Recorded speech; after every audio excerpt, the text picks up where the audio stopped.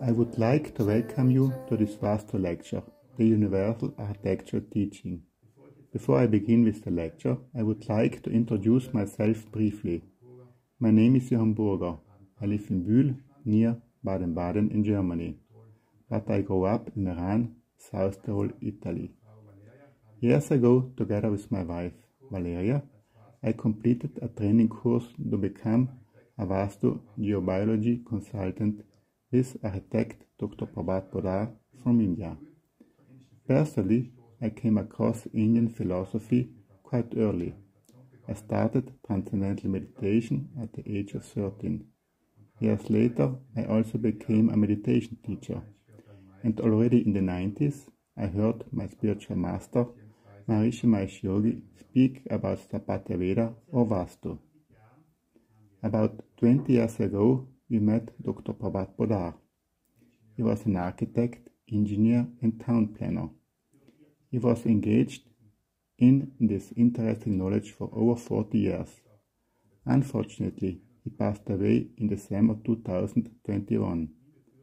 However, he deserves our sincere gratitude for his research, his knowledge on how to energetically correct houses, flats, but also companies that they are not built according to the Vastu principles. Below we see this beautiful temple of the Varnas Group in Andhra Pradesh, India. Prabhat was chief architect of a 40-member team, and this temple was built from 400 workers in a period of 10 years.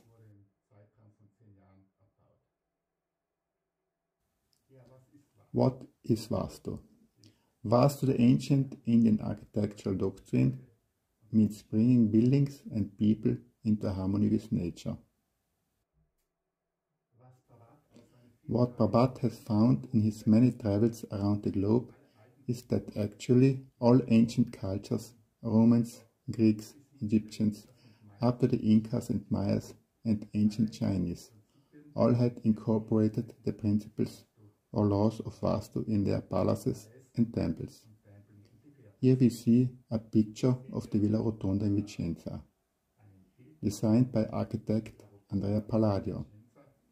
Andrea Palladio has become very famous, especially in the Veneto area, for his beautiful villas and palaces. We know from Andrea Palladio that he had studied the ancient texts of Marco Vitruvio. Marco Vitruvio, again, a very well-known Roman architect who is known to have studied the ancient texts of Vastu.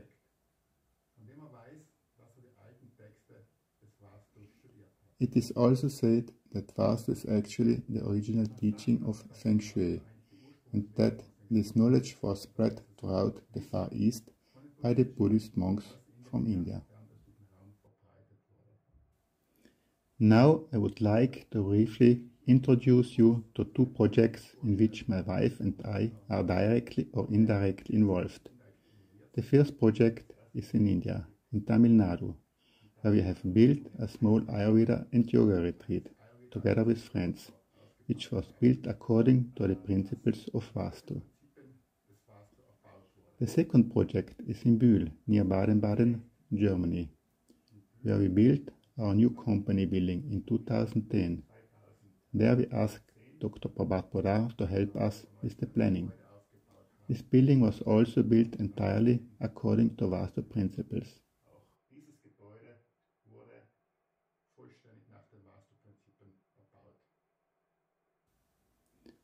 A very nice quote from Prabhat is When we have a house planned and built according to Vastu principles, it does yoga for us. Why?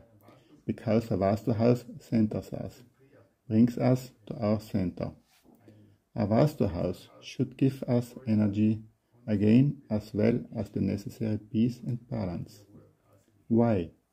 In the Vastu teaching, certain principles of nature or laws of nature are integrated into the planning, such as the five elements fire, water, air, space ether, and Earth. But also the golden proportions play a big role in Vastu architecture. Everything created by nature, that is, the plant world, the animal world, and also we humans are created exactly according to the golden proportions. It is also said that there are three bodies in ancient Indian architectural teachings. The first body is our physical body. The second body is our building. The third body is the universe. These three bodies must be in harmony with each other. Otherwise, it can have a very negative effect on our general well-being.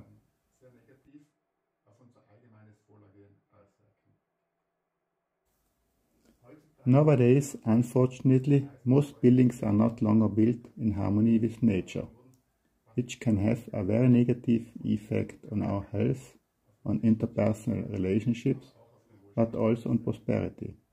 However, this does not mean that we should not build in a modern way. It is only important that the principles of Vastu are integrated into modern architecture. Another very important point that Prabhat has mentioned again and again in his lectures is that we must first recognize our body and understand how our body is constructed. In the ancient Indian natural healing medicine Ayurveda, it is said that there are 72,000 nadis in our body. The 72,000 nadis are tiny, fine axes of energy that are normally centered. These tiny energy axes are even finer than a spider's web and are divided three times. It is said that in the innermost of this energy axis is the Om sound, the primordial sound. As already mentioned, this energy axis must normally run centered in the body. When we are exposed to certain interference fields, such as earth rays, electrosmog, mobile phone radiations, etc., the energy axis shift, even if a house is not built according to Vastu principles. This can have a very strong influence on our nadis. Dr. Prabhat Poddar has based his whole correction method on this energy axis.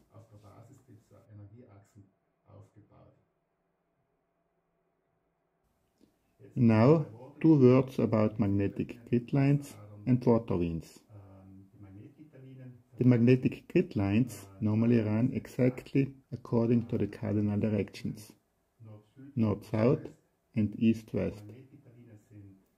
Unfortunately, the magnetic grid lines are still little researched, but it is known that animals oriented themselves according to the magnetic ley lines. Magnetic grid lines have a similar negative influence as water veins on our health and on our psyche. There are different magnetic grid lines with a distance between 2 and 4 meters, between 4 and 6 meters, and between 8 and 10 meters.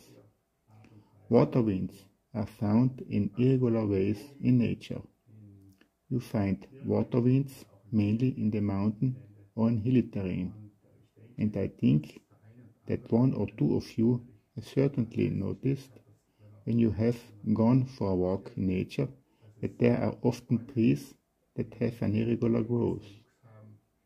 Either they have a twisted growth, a tricky growth, or an angular growth, or they are also partially ignored.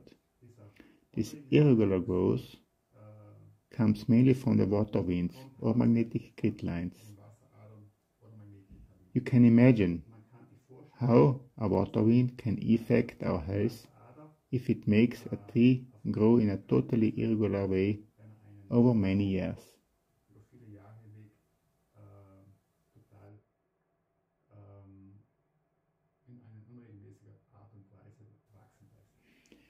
Here below we see the Lecher antenna, with which we can detect magnetic grid lines and water veins.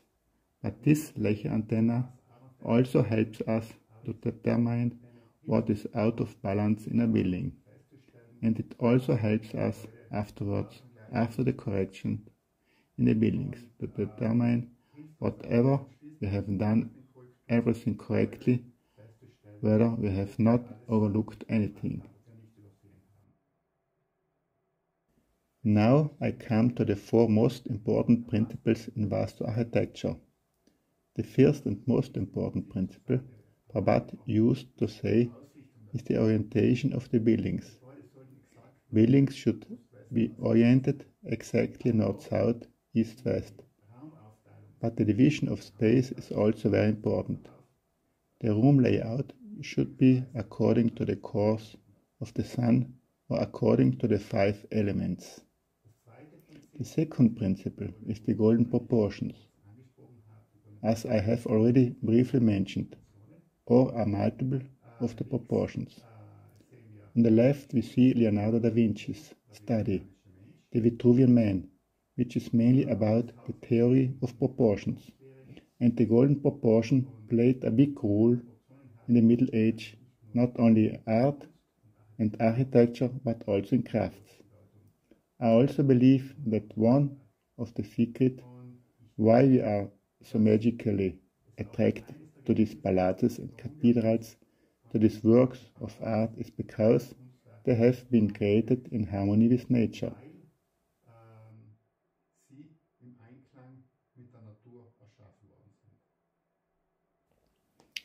The third principle is the form. Form comes from the proportions and is of course also oriented towards the purpose of the buildings. Fourthly, we have the materials which play a more important role today than in the past, because toxic materials are also used today. Though it is interesting to note how in the past materials were used in buildings, the same way as they were created in nature. For example, wood.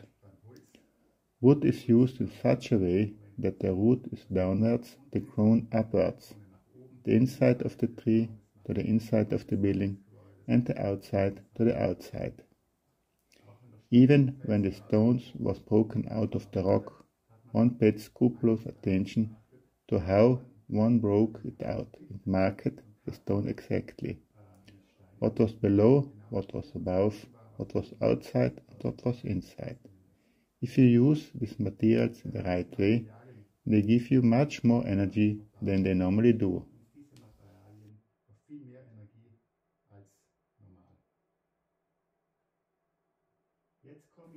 Now I come to the five elements.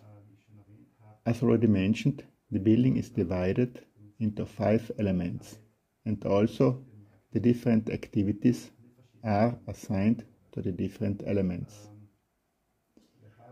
We have in the southeast the element of fire. This area is assigned to the legs. And in the fire or air element, activities can be planned that have to do with heat, such as the kitchen, the sauna, the boiler room, the electricity meter.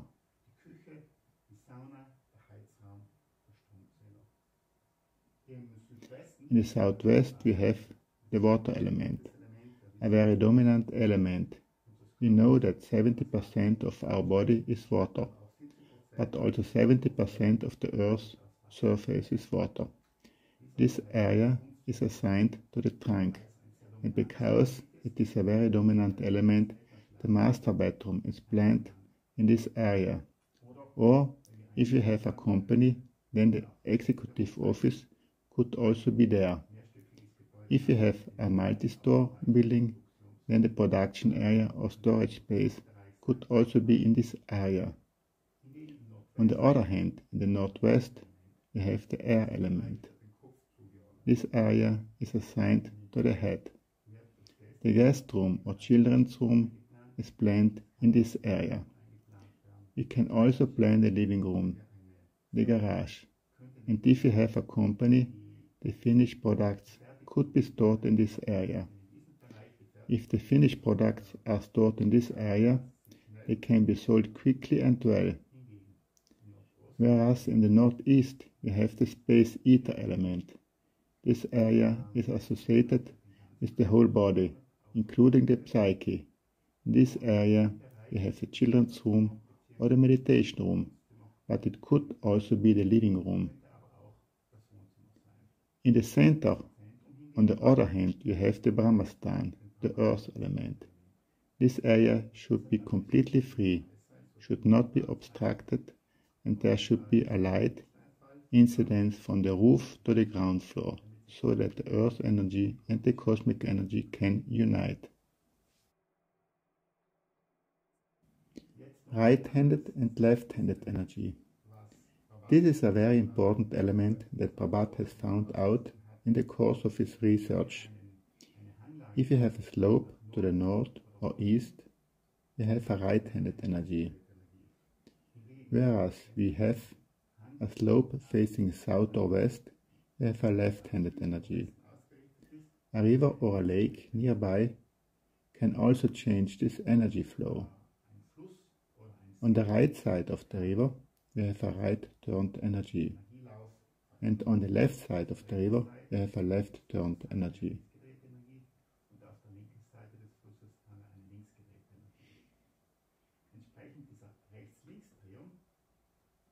According to this right-left rotation, you have to adjust the whole planning.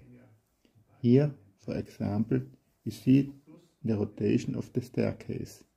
To the right of the river, the stairs should run up to the right. To the left of the river, they should run up to the left. The stairs always have the simultaneous task of transporting energies from the lower floors to the upper floors.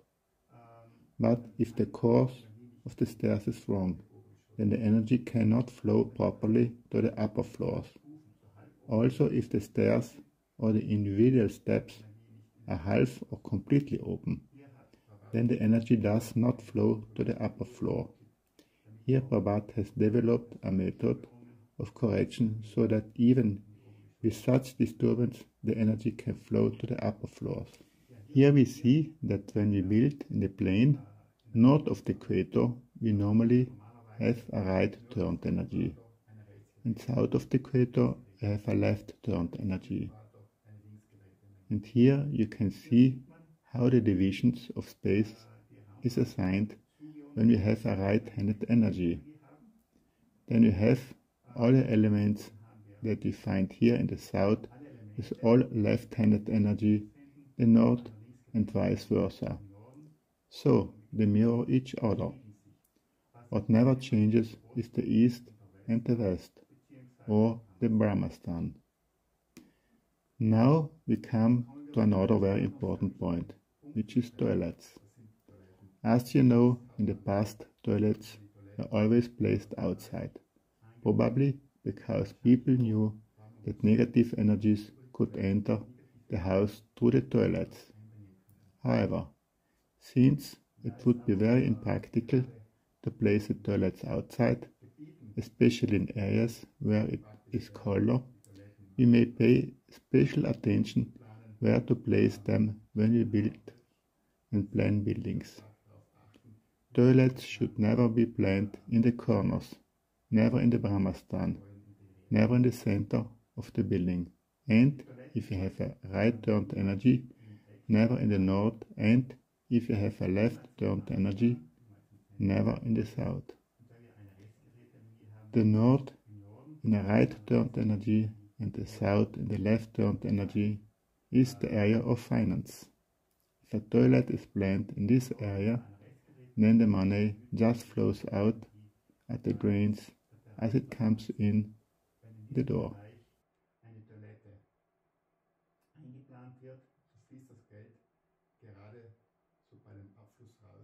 Also, in the space of the etheric elements or in the Brahmastan, one should never plan for a toilet, especially in the ether element. It can have a very strong influence on the partnership or on the relationship, but also on the health or on the psyche.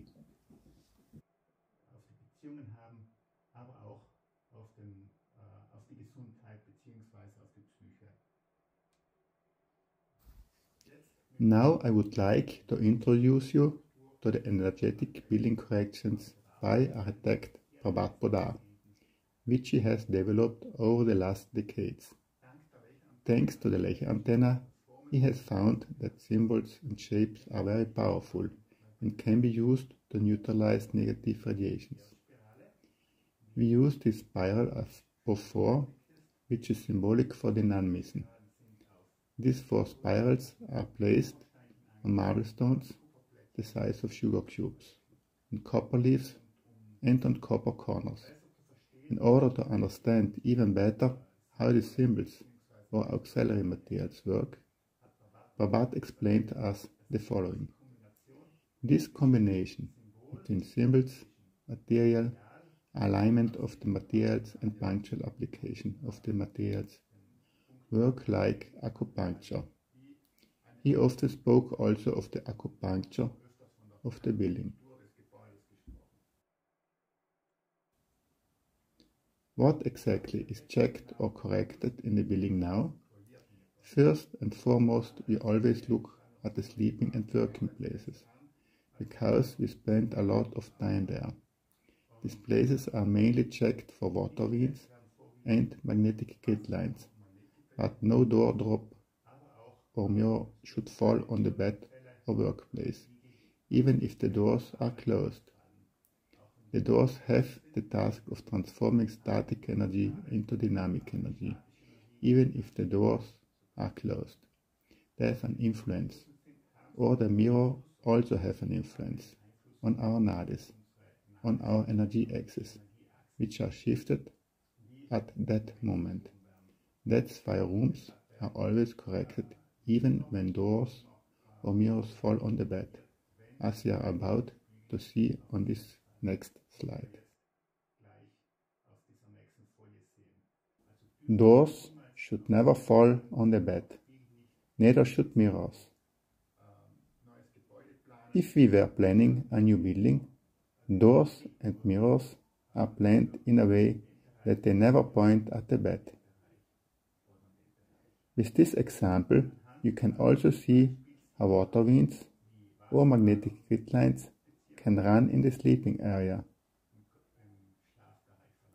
Of course, these magnetic grid lines and water veins can run in different ways in the sleeping area.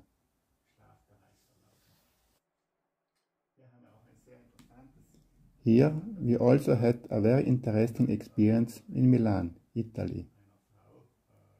We were invited by a woman who worked in a bank and who has had severe sleeping problems for many, many years. She kept waking up at 2 a.m. and could not longer sleep. After analyzing her bedroom, we actually found the full program in her bedroom. She had placed the bed right in the middle of the bedroom. The entrance door that opened directly on the bed even the balcony door pointed directly at the bed. She had also put a large mirror in the foot area and in the head area. Last but not least, we also detect a magnetic grid line and water veins in the sleeping area. After this correction, she was able to sleep. The effect of our correct corrections vary. There are people who are very sensitive, who already noticed during our corrections that something energetically changes. There are people who can sleep better the very next day, or in the following days, in the following weeks, or if the problem was very strong and serious, it can set in the following months.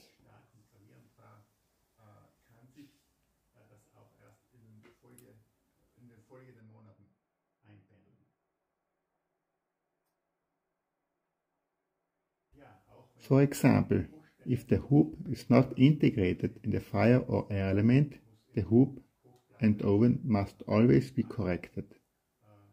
Also the microwaves, which of course, as we know, is not ideal. All the air extractors and drains need to be corrected as well. In a bathroom, of course, all the drains, but also the doors should be corrected energetically so that negative energies cannot enter the living area or so that positive energies are not withdrawn from the living area. As you probably know, in the past, double leaf windows and doors were always installed in houses. Today, only single leaf doors and single leaf windows are predominantly used, partly for practical reasons, but also partly for financial reasons. With double leaf windows and doors, the energy can flow evenly into the room.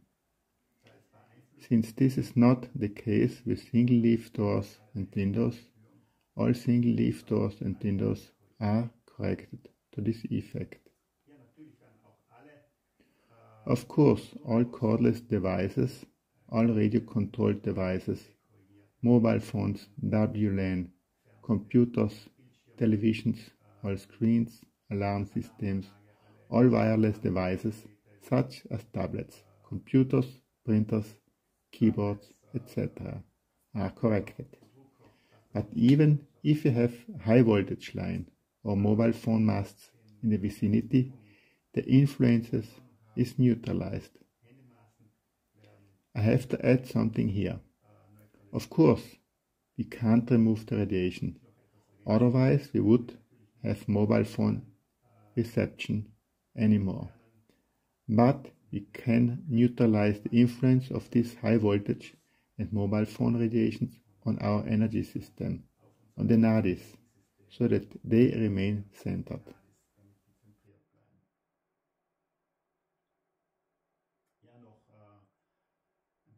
Now a few more practical tips for you at home. One should never position sacred pictures or objects in bathrooms or toilets.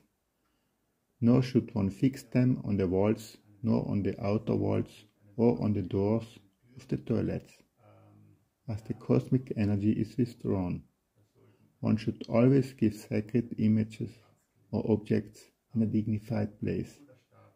Also those Buddha statues that are often found in bathrooms today to create a beautiful, pleasant energy should not be placed there.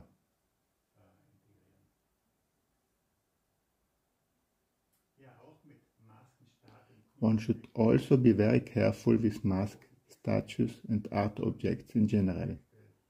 Art objects depicting aggressive animals or wars create bad energy in the house. Even with the art objects themselves, one never knows what symbolism these art objects have, with what intention they are made, or even the state of mind of the artist. If the artist is not well, this energy can have a negative effect on the inhabitants. Now I would like to present a very beautiful experience of the correction of a farm in the Ulten Valley in South Tyrol, which for 10 years had great problems with the rearing of the calves and also with their cows. The majority of the calves died right after birth.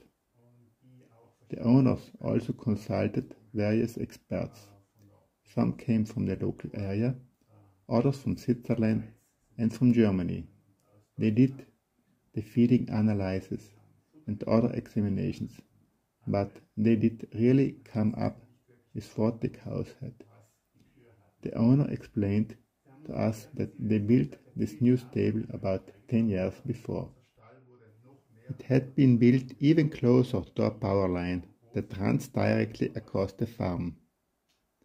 After we had analyzed the stable with our antenna, we found that it was not only a very strong influence of the high voltage, but that we also found a magnetic grid line exactly where the cows were standing, in addition to the water veins. We had an influence of the doors and two boxes were crossed by another magnetic grid. After we told the farmer what we had found, she told us that exactly where we had found this bad influence, they could not leave a cow standing for more than two weeks because it would be so bad for them. And then made all the corrections. We were in the Ulten Valley two weeks later because we also corrected the farmhouse of the property.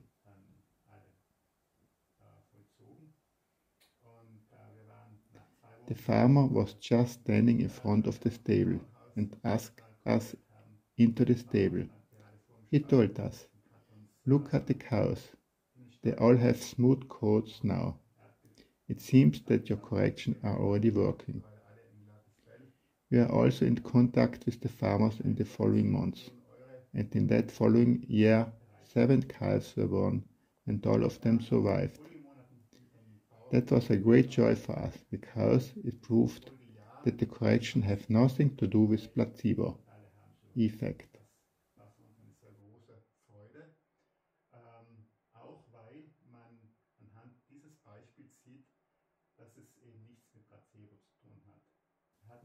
We had a second case in a second stable, where there was also a very strong influence of an electrical distributor, which was in front of the stable. In addition, there was a strong water vein.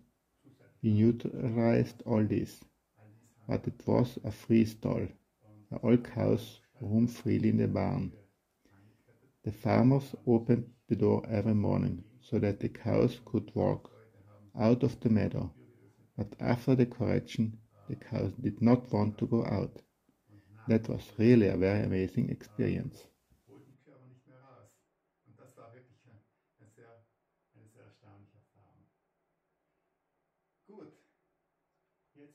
Well, now I would like to introduce to you another example of a hotel correction, the Hotel Leitlhof in Innichen, South Tyrol. Dr. Prabhat Poddar personally made the correction here more than 10 years ago because the hotel owner was not satisfied with the occupancy rate. At that time, it was only a three-star hotel. Prabhat found that the proportions were not right and made all the corrections necessary, which I mentioned earlier. The hotel was since extended twice. From a three-star hotel, it became a four-star S hotel. In the meantime, they have a 90% occupancy rate. Here you can see that if the problems really arise from the architecture of the building, you have a very big impact with this correction. Of course, the general well-being is not only due to the architecture. We also know that diet has a great influence. Exercise, stress, and so on. Of course, the stars too, as we know, but Prabhat has told us again and again how strong the influence of a building can be on our lives. He has noticed this over his many years of correcting worldwide. We have also been working in this field for years and have made hundreds of corrections with very positive and beautiful results.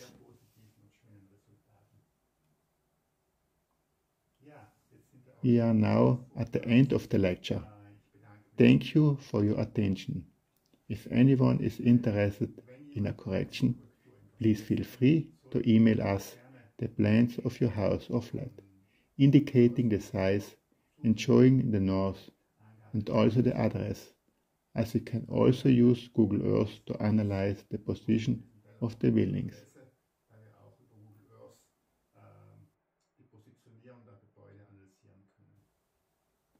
At the end, I would also like to show all the points that we are correcting or analyzing.